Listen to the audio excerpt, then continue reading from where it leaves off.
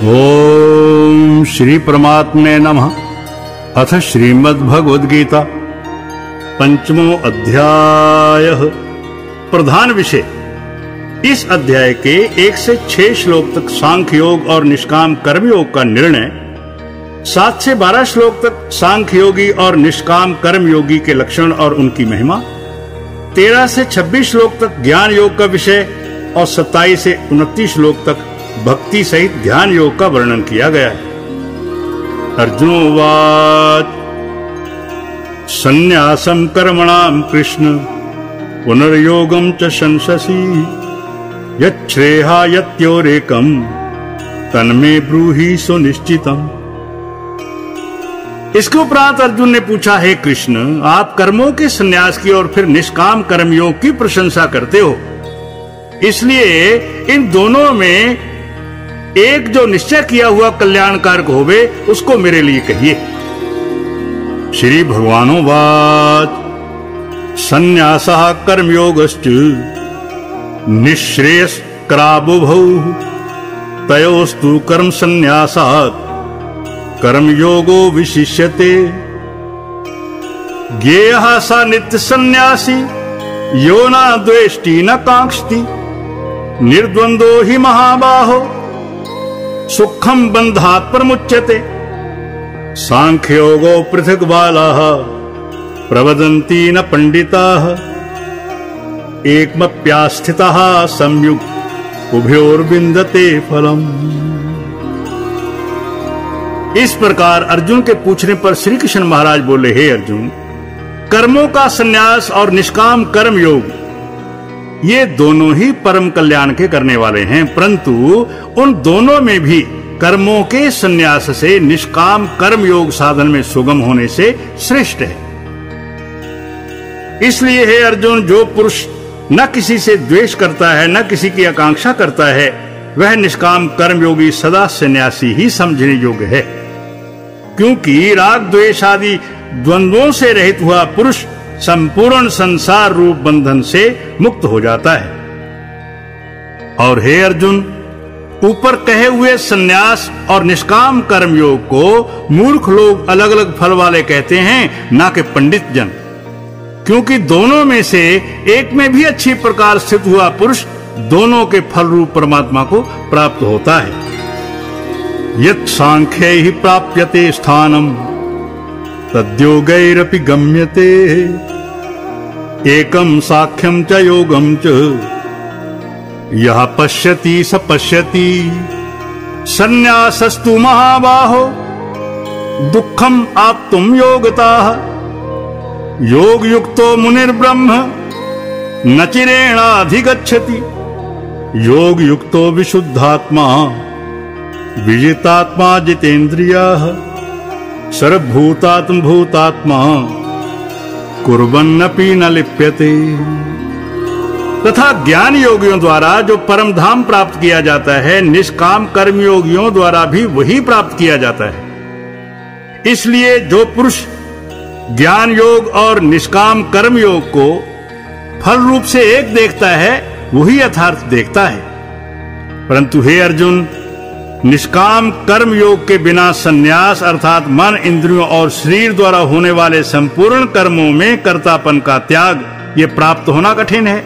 और भगवत स्वरूप को मनन करने वाला निष्काम कर्म योगी पर ब्रह्म परमात्मा को शीघ्र ही प्राप्त हो जाता है। तथा वश में किया हुआ है शरीर जिसके ऐसा जितेंद्रिय और विशुद्ध अंतकरण वाला एवं संपूर्ण प्राणियों के आत्मरूप परमात्मा में एक ही भाव हुआ निष्काम कर्म योगी, कर्म करता हुआ भी लिपायमान नहीं होता है।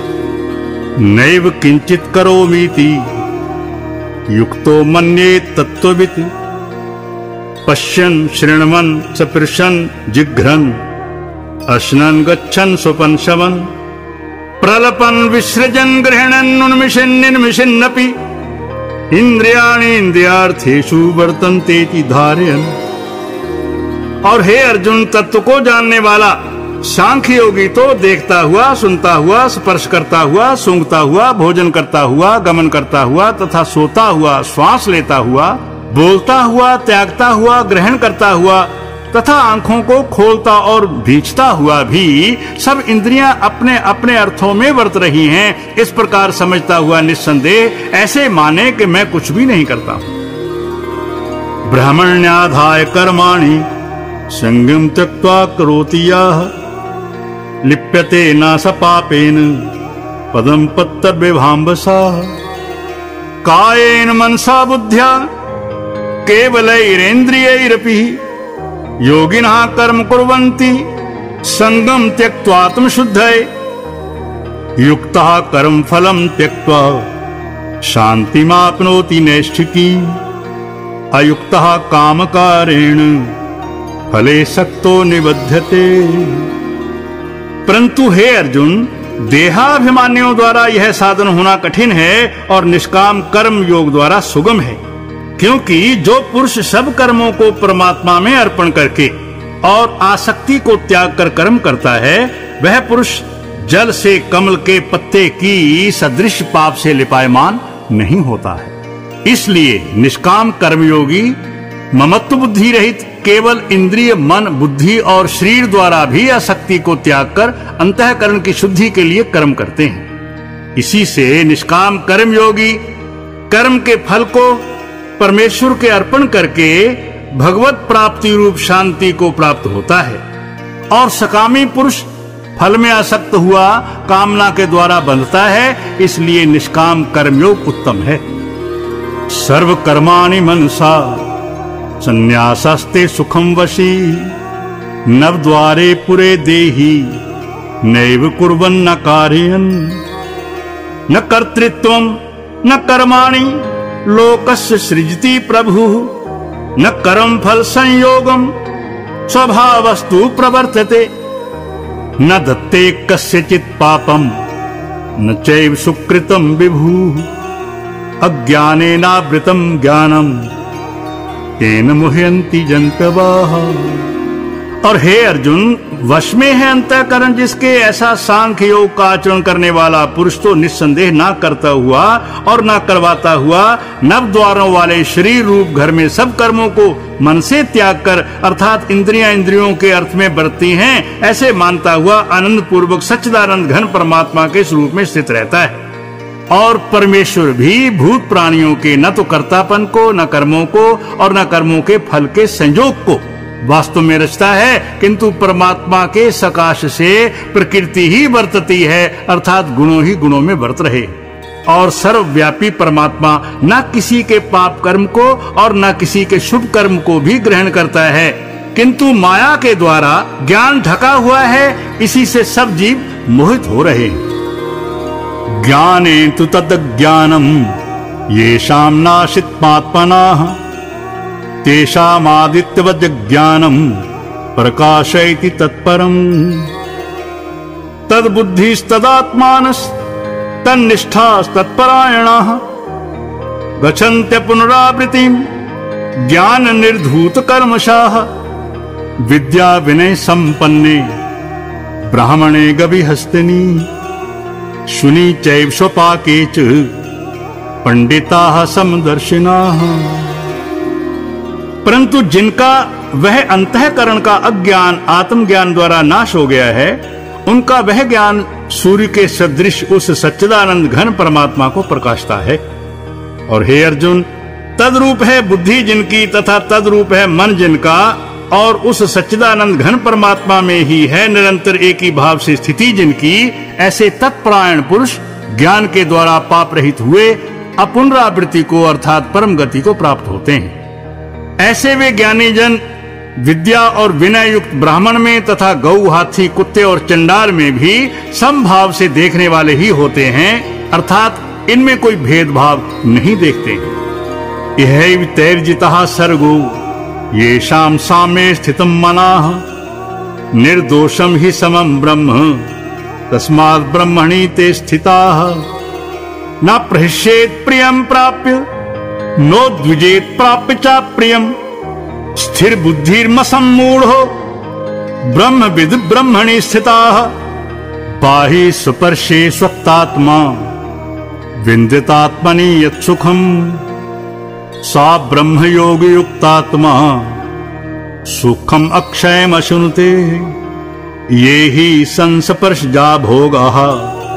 दुख यो न्यायवते आद्यंतवंत कौनते न तेषु रमते बुधा इसलिए जिनका मन समत्व भाव में स्थित है, उनके द्वारा इस जीवित अवस्था में ही संपूर्ण संसार जीत लिया गया, क्योंकि सच्चिदानंद घन परमात्मा निर्दोष और सम है। इससे वे सच्चिदानंद घन परमात्मा में ही स्थित हैं।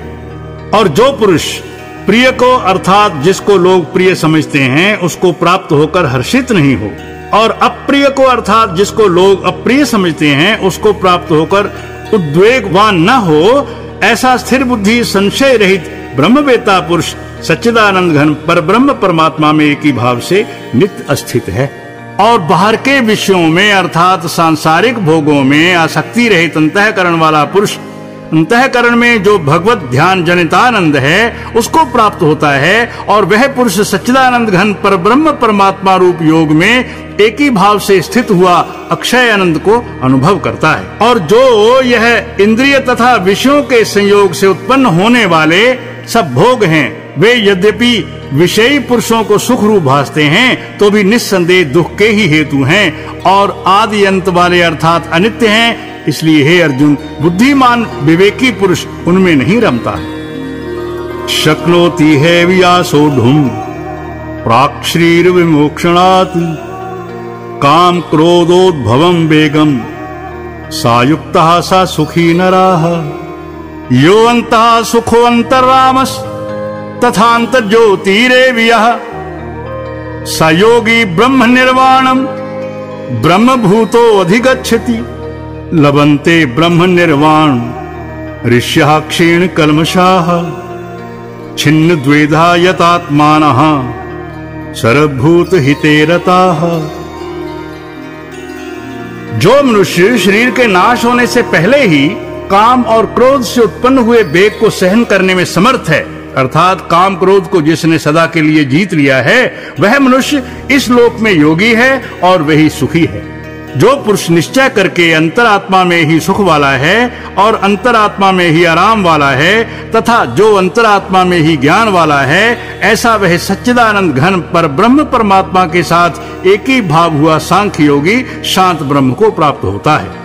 और नाश हो गए हैं सब पाप जिनके, तथा ज्ञान करके निवृत्त हो गया है संशय जिनका, और संपूर्ण भूत प्राणियों के हित में है रति जिनकी। एकाग्र हुआ है भगवान के ध्यान में चित्त जिनका, ऐसे ब्रह्मवेता पुरुष शांत पर ब्रह्म को प्राप्त होते हैं। काम क्रोध वियुक्ता नाम यती नाम अभी तो ब्रह्म निर्वाणम, वर्तते विदितात्मना स्पर्शान कृत्वा बहिर्वाह्यास चक्षुश्चैवांतरे भ्रुवोः, प्राणापानौ समो कृत्वा नासाभ्यंतरचारिण। यतेन्द्रिय मनोबुद्धि मुनिर्मोक्ष परायण विगतेच्छा भय क्रोधो यह सदा मुक्त एव साह और काम क्रोध से रहित जीते हुए चित्त वाले पर ब्रह्म परमात्मा का साक्षात्कार किए हुए ज्ञानी पुरुषों के लिए सब ओर से शांत पर ब्रह्म परमात्मा ही प्राप्त है।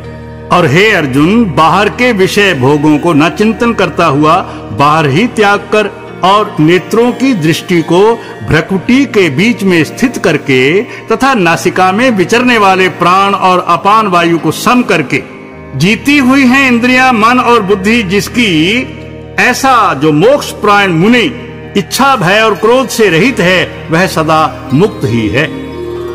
भोक्तारम यज्ञ तपसाम सर्वलोक महेश्वरम सुहृदम सर्वभूतानाम ज्ञावा माम